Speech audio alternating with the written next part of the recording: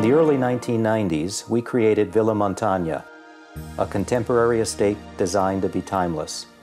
It sits about a thousand feet above sea level on 40 acres in the Mayacamas Mountains that separate two of the world's finest wine regions, Sonoma Valley and Napa Valley.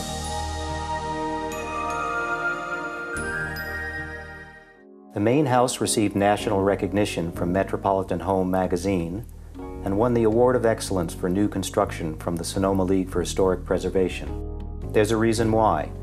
Augustin Haraszthy was a Hungarian count that moved to Sonoma in the 1800s and is known for starting California's wine industry.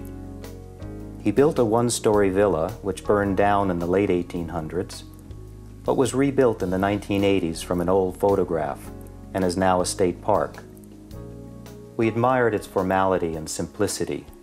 And the design team at Portico West interpreted that villa and designed a two-story main house influenced by Count Haraszthy's villa. We used the wonderful tall columns. While the design was influenced by Count Haraszthy's villa, it also was influenced by Thomas Jefferson's Monticello, by Palladio, and antebellum southern mansions. As you come upon the entrance to the estate, there are two magnificent stone columns. And you arrive at the top to a circle, which provides a formality to your entrance.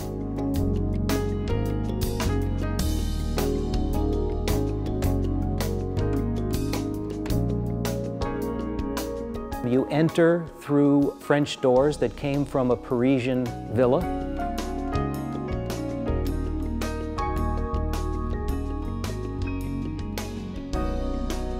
There are some wonderful stone elements in the main house. The floors throughout the home are French limestone and polished Mexican Jalisco stone. There's in-floor radiant heat. Also the thermal mass of the stone tile on top of the concrete stone base on both floors really make for a very naturally cooling effect during the summer and also retain the heat during the winter months, providing a very efficient and comfortable living environment.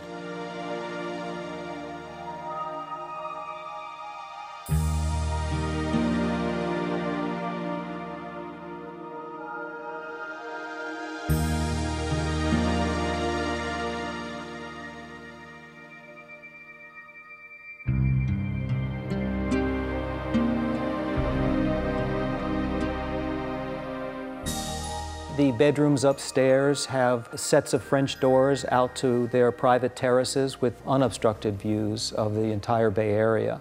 When we went on to design the rest of the estate, we created multi-levels through terraced gardens.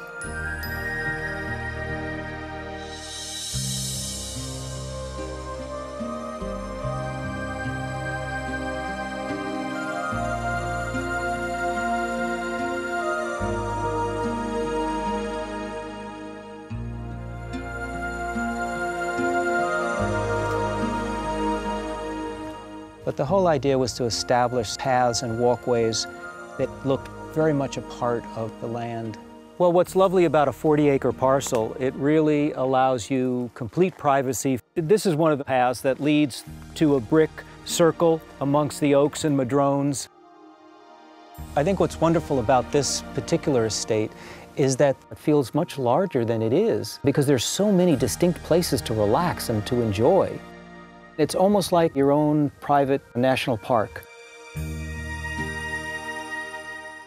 And this is one of the most magical places. The cabana was positioned away from the main house to provide a real private space for lounging in the sun around a lovely pool that has a certain Pompeian flavor. There's in-floor radiant heating throughout the cabana.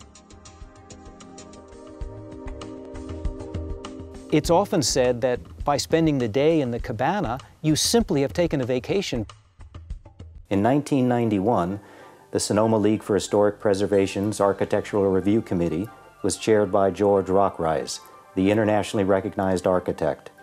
When he presented the award to the design team at Portico West, he said, Here is a simple but classic and elegant solution of great spatial quality, skillfully sited on difficult terrain, and executed with great sensitivity to character and detail. It's a proud example of outstanding new construction, new construction that is compatible with the historic tradition of our valley. It has the great capacity to be intimate if you're there alone or with someone, and yet to not feel confining when there are 150 people for an event.